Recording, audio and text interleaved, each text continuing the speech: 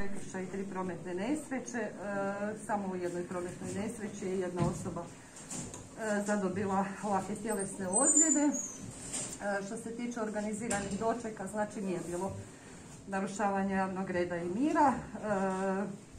Bilježimo jedno kazneno djelo oštećenja tuđe stvari u Bjelovaru gdje je nepoznati počinitelj znači propucao tri vozila na parkiralištu kompleksa stambenih zgrada.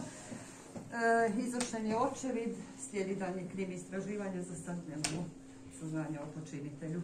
Čime je propucao? E, iz vatrenog oružja za sada nepoznatog, s obzirom da nisu pronađene čakure na mjestu događaja. A gdje to je to mjesto? U Bjelovaru. Aha, ne možete precizirati. E, Bjelovaru, kompleks stambenih zgrada, ulica Antona Mihanovića. Zatim imamo neovlaštenu uporabu tuđe pokretne stvari i prometnu nesreću u Daruvaru e, gdje je vlasnik vozila na parkiralištu ostavio e, vozilo znači bez nadzora sključen unutar vozila što je iskoristio 28-godišnjak pod utjecajem alkohola znači pokrenuo vozilo, udario u rubni kamen rubnjaka e, došlo je do oštećenja vozila materijalna šteta znači slijedi zbog prekršaja zakona o sigurnosti prometa na cestama. E, protiv počinitelja slijedi znači optužni prijedlog i naplaćena mu je novčana kazna dok u vezi oštećenja vozila znači odnosno neovlaštene uporabe tuđe pokretne stvari slijedi kaznena prijava. I treći događaj koji bismo izdvojili je narušavanje javnog reda i mira u Bjelovaru noćas oko dva sata na nogostupu ispred jednog ugostiteljskog objekta 19-godišnjakinja vikala i galamila, te udarila 27-godišnjaka. Ona je privedena u prostorije policije i puštena nakon kriminalističkog istraživanja. Evo, i što se tiče još znači ovih organiziranih dočeka u gradovima, znači u četiri grada e, svi osim Garešnici su imali, isto bez narušavanja javnog reda i mira, odnosno zaprimljenih dojava i nije bilo dojava e, u vezi ozljeđivanja, odnosno samo ozljeđivanja uslijed uporabe pirotehničkih sredstava. Evo. Hvala. Ono organizirano kriminala nije bilo.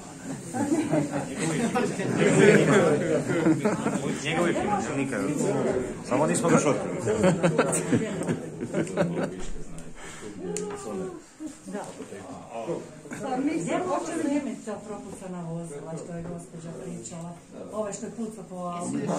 Ja se to možda i negdje prevezli. Da, postoje bi ja ne znam baš. Da bi vam dozvolili za... Ako je očević završen, možete tamo ako je... Za ne znam. Ovo da, da. Crvete zgrade. Preko puta. Forum, forum, tamo. Možemo se preseliti sada. Ajmo u salu. Znači to je u dvorištu onih crvenih zgrada.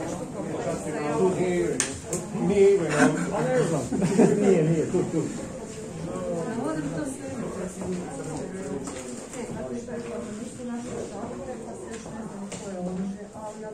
Dobro, e, ako sam vas razumio, Rubina Kumičića, to je ovo, vi ste se kretali ovo, e, ulica Pere Biškupa, pa onda, onda, ono, ono, ono, onaj zavoj, pa se kretali tamo lijevo za... Dobro, vi, vi se tu nalazite, znači, evo tako? do daljeg svjetla, to je bilo noćas. Dobro, recite mi koja je registracija toga vozila koje vas je lupilo i otišlo? Da li ste možda...